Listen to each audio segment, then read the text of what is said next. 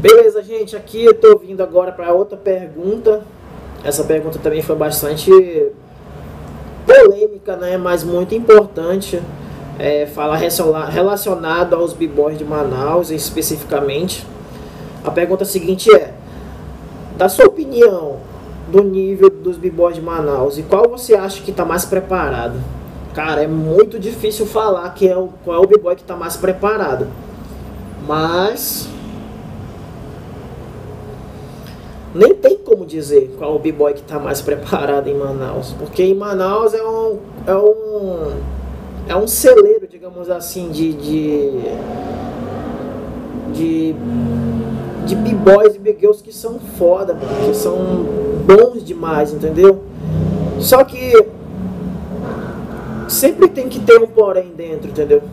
É, os b-boys e b-girls que são bons em Manaus, eles muitos deles geralmente não conseguem trabalhar o seu marketing.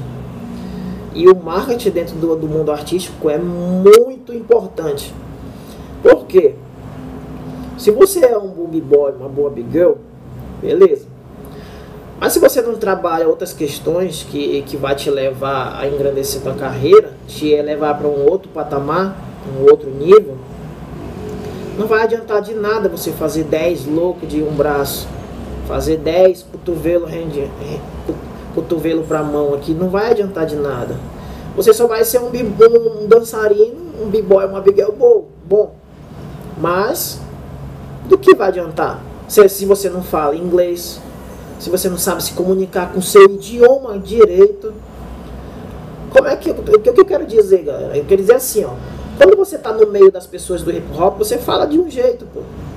E aí, mano, pô, pode crer, pá, é isso mesmo, truta, não sei o que lá. Mas a partir do momento que você vai falar com uma pessoa de fora da nossa realidade, de fora do break, você tem que saber falar direito. Sim, senhor, não sei o que lá. É. Falei não sei o que lá. Tem que falar corretamente. Entendeu? É isso. Eu estou de acordo com isso. Muito bem. A pessoa tem que falar direito entendeu? Porque essas questões, ela vai se diferenciar de outras pessoas que também são bons, mas que não sabem se comportar num, num ambiente onde não tem nada a ver com break, mas que você tá lá por causa do break, entendeu? Ou seja, se você vai tratar diretamente você mesmo com uma pessoa que vai ser um possível patrocinador seu, ou com um organizador de evento, você vai ter que falar direito com a pessoa de uma maneira educada, correta, é, olhando olho no olho, com um tom de voz igualado a ele. Ou seja, tem muitos b-boys, b-girls bons em Manaus. Mas quando se bate de frente com uma questão dessa, a pessoa treme, pô. A pessoa não sabe se comportar, ela não sabe falar. E aí isso é, leva tudo por água abaixo, pô, o seu talento. Porque o possível patrocinador, o organizador de evento, ele vai olhar assim, ah, ele é muito bom, ela é boa, só que quando eu fui conversar não tinha conteúdo nenhum, entendeu? Então, assim, a nossa vitrine é a nossa dança, a primeiro, primeiro olhar de um patrocinador ou qualquer outro contratante. Mas, geralmente, eles, eles se interessam na segunda coisa, que é a maneira como você vai conversar, como você vai, vai tratar com ele. Então, digamos assim, é, tem muitos, cara, muitos b-boys e b-girls bons em Manaus. Só que tá faltando aquela gana que tinha em 2009 e 2010. Agora eu tô falando de nível, né? Nível de competição, objetividade, é, uma, aquela força presencial do b-boy, b-girl tá ali no, na competição, entendeu? Eu vejo que os b-boys e as big em Manaus perderam muito isso. Eu entendo que é uma nova geração. Essa nova geração, ela não procura se vestir muito bonitinho e tal, caracterizado. E isso é uma falta que tá tendo, entendeu? É, em questão de nível, é, a galera tem que procurar ser, ser boa, mano. Ao pé da letra, ser foda em tudo, entendeu? Se vocês for analisar o nível de b-boys de 2009, 2008 para cá, o nível em Manaus caiu muito. Caiu demais. Entendeu? É, não se vê assim aquela qualidade de movimento. É, aquela coisa que a gente olha assim, um cara dançando e olhar assim, minha nossa, mano, que, que, que da hora, que foda, entendeu? Não tem isso.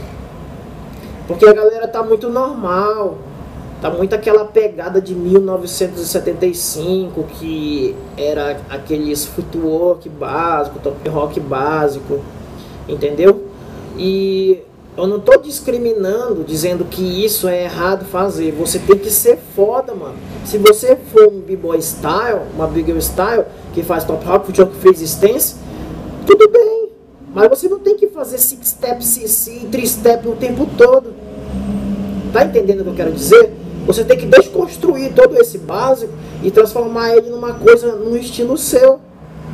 Agora, se você ficar todo o tempo nesse básico, mano, você vai ser um b-boy style ruim. Desculpa a, a, palavra, mas é isso. E o nível de Manaus não é esse nível. Tem que ser um nível pancada, entendeu? Se você for um b-boy power move, não faça daquele power move só aquele básico, iniciante, pá.